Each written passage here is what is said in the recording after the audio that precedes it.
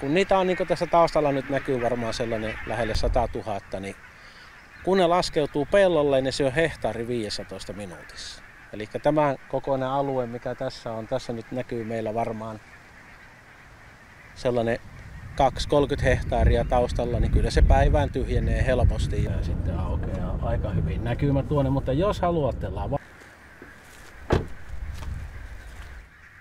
Näkyy nuo lehet kaikki kun ne on syöty.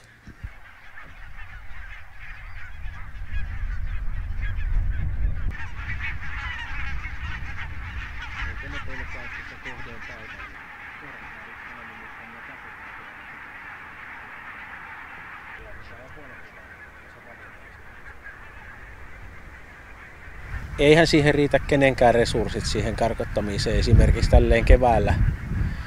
Keväällä se on mahdoton tehtävä, koska tuota, täytyisi tehdä ne viljelytoimetkin ja, ja tuota, voihan niitä koittaa karkottaa, mutta ne tulee aina takaisin. Mitä enemmän niitä on, niin sen varmempi, että niitä riittää kyllä. Että ei, ei sitä jaksa tehdä kukaan.